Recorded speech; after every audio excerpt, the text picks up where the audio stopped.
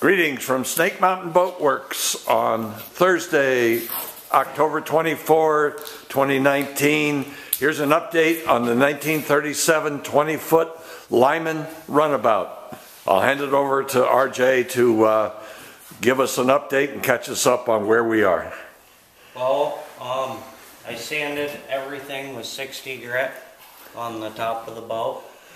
Um, then I installed these coamings, which were big, long, huge screws that went down through.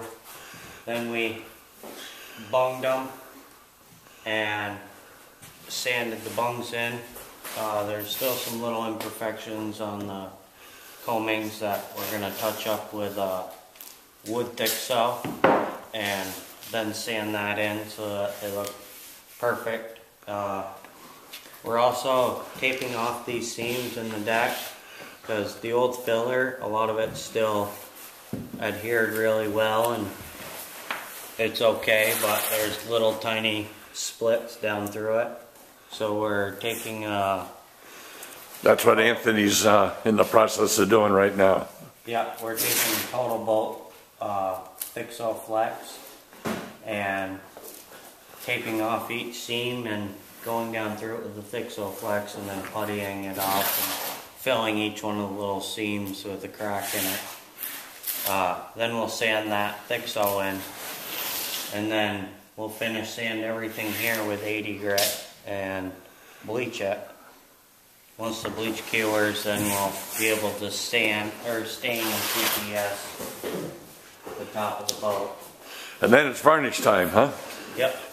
And while this has been going on, you guys have made real progress on varnishing and painting everything that goes inside, correct? Yep. The bilge is completely painted. Uh, these are some of the varnish pieces that are done. There's a few more that are being finished up right now. And uh, then we'll have to, we actually have to paint the edges of them pieces, but then they'll be ready to install.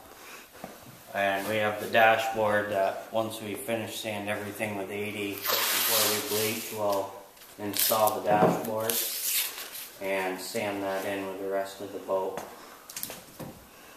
And then the top sides we painted with uh, provisionally with a low luster uh, black paint.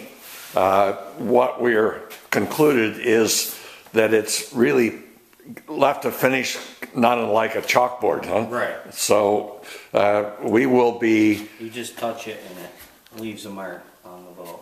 yeah, it's great paint, but it's not a great finish. It's a great primer and base coat. So we will be applying three or four coats of uh, Pettit's Easy Epoxy topside paint in a high gloss black, which should really make this boat pop. So the major issues in this project are quickly disappearing into our wake.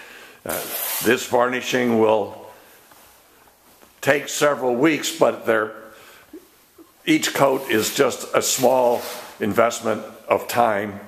It's more materials than it is labor at this point. And very quickly, she's going to be really beginning to show what she brings uh, to the table. We'll have her ready for water next spring without any question. Thank you so much. Bye bye for now from Snake Mountain Boat Works.